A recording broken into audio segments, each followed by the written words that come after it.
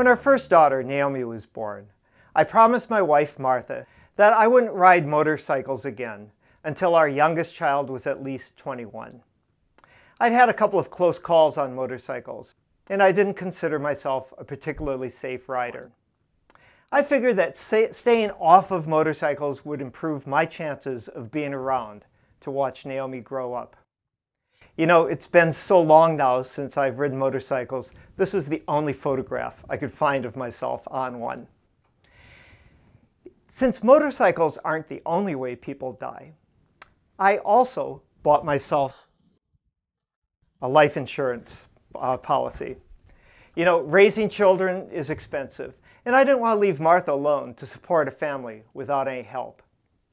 Before we had kids, I didn't have to have life insurance, and I, I, you know, I didn't need it. Sure, Martha would have missed me if I had run my motorcycle into a truck, but she would have been able to support herself. Of course, some couples without children may need life insurance, especially if one spouse has been out of work for many years while the other built a career. So to find out whether you need life insurance, the first question you should ask yourself is, does somebody, besides me, depend on my income? You know, would anyone be in financial trouble if I died? If the answer is no, you probably don't need it. If the answer is yes, you should take a look into getting some life insurance. If you do need life insurance, your next step is to ask two more questions what type, and how much. Let's tackle these one at a time. First up, what type? You know, there are two types of life insurance. There's term, sometimes called temporary life insurance, and there's cash value, also known as permanent life insurance. Cash value includes whole life, universal life, and variable life insurance. I'm strongly recommending that if you need life insurance, you buy term life insurance. Let me give you a brief description of each of the types of insurance, and then I'll tell you why term is by far the better choice for most people. Term life insurance looks like this. If you die, your family members or whoever your, your beneficiary is gets the amount of death benefit specified in the policy you bought.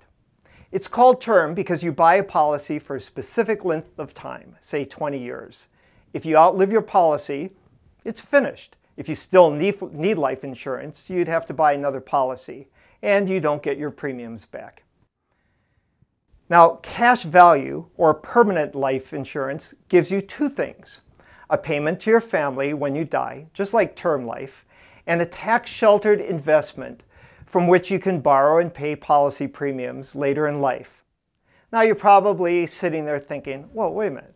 Wouldn't it be better to have a life insurance policy that gives me tax-sheltered investments? The short answer is no. Most people are better off separating their life insurance and their retirement savings.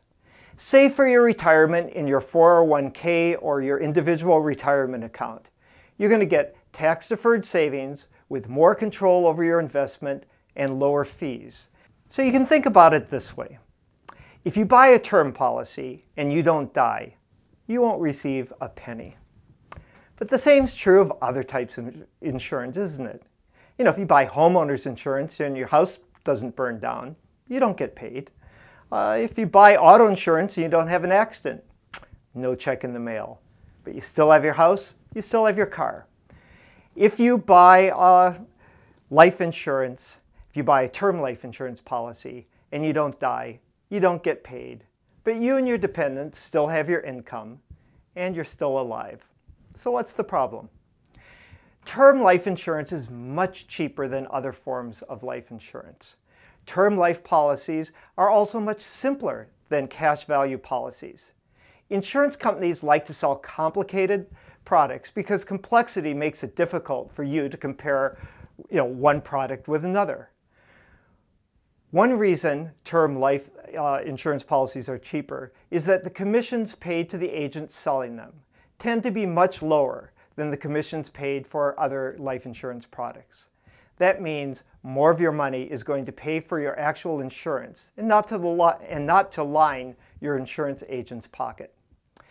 Insurance companies and insurance agents make a lot more money selling cash value policies such as whole life, universal life, and variable life. And that's why many insurance company websites and brochures try to get you to buy cash value instead of term. There are different kinds of term life insurance you can buy, but the most common is called level term. You pay a fixed annual premium for a fixed number of years, say 10 years, 15 years, or 20 years. When that term is over, you're no longer insured. Now, you may be able to renew your expiring policy without a health exam, but this will be very expensive. I took a look at my own term policy. I currently have a 10-year term life insurance policy that expires the day before my birthday in 2017. The current annual premiums are $1,785.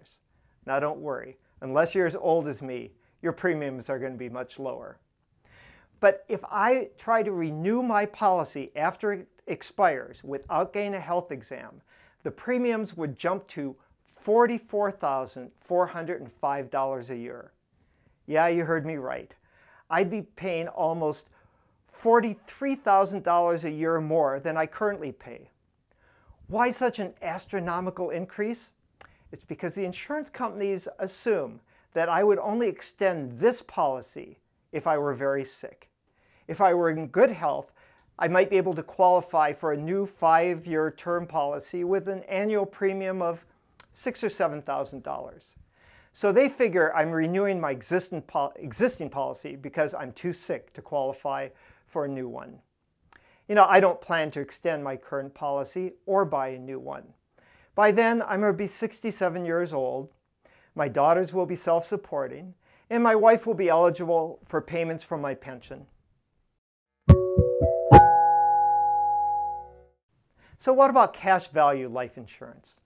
Cash value policies combine life insurance with an investment. That might sound better than the death benefits only approach you get with term life. However, after you adjust for the cost of equivalent term life insurance, the investment returns of these cash value accounts aren't very good.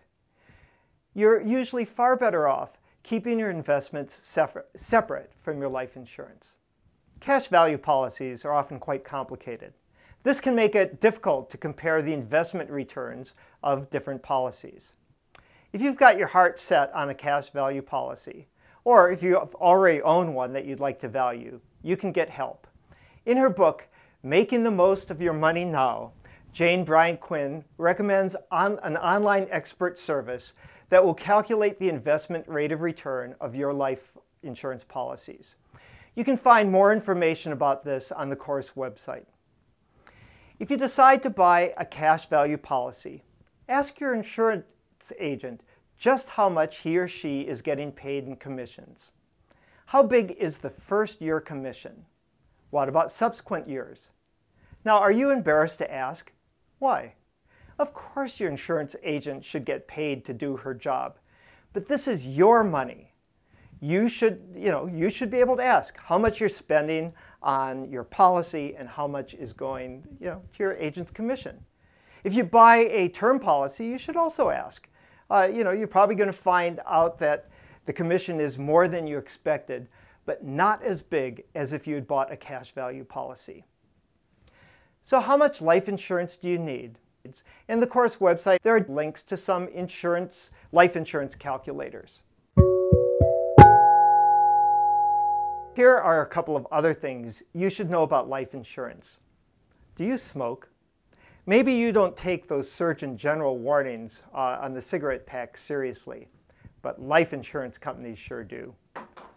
To get an idea how much smoking is going to cost you in life insurance premiums, I went to the website of termforsale.com and looked up some quotes.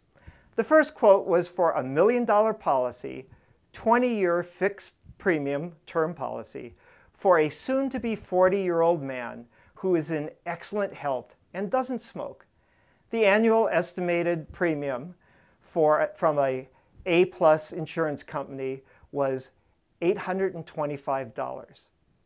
Now, if that same man does smoke and wants the same policy with the same, the same payoff, the annual premium is $2,765, more than three times as much and nearly $40,000 extra over the life of the policy.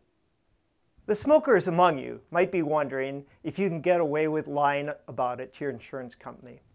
Not a good idea. You don't want to do that.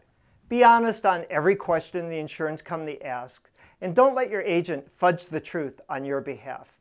Because if you do die in what's called the contestability period, two years in most states and one in others, the insurance company may investigate. And if they find out that you lied or withheld information, they can refuse to pay on your policy. Now, after the two-year contestability period ends, uh, they're going to pay up. But if you live beyond the two-year period and the insurance company finds out that you deliberately lied when you applied for your policy, you could be charged with fraud. Cheerful video so far, huh? Uh, you know, nobody likes thinking about dying prematurely and leaving loved ones in the lurch. But hold on, because the next point's a bit of a downer. However, knowing about it could help you and your family, so bear with me.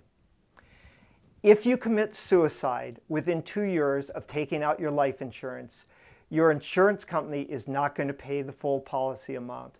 Instead, they'll refund your premiums. The exclusion period for suicide is going to vary depending on the policy and the state that you live in. Usually though, if it's more than two years since you set up your policy, your insurance company is going to pay even if you die from suicide. All right, that's over. One final point. Life insurance is a long-term contract, 10, 20, 30 years, maybe your entire lifetime. Once you've been paying on a policy for a few years, your premiums will probably go up if you need to replace it with a new policy. So you're going to want to buy your policy from an insurance company that's going to be in business for a long, long time. A company with high financial strength ratings. You can find those ratings at the websites of four major insurance rating firms. We put links to those websites in the course, uh, courseware for this week. Each company uses a different rating system, and we also gave you some information on the rating systems.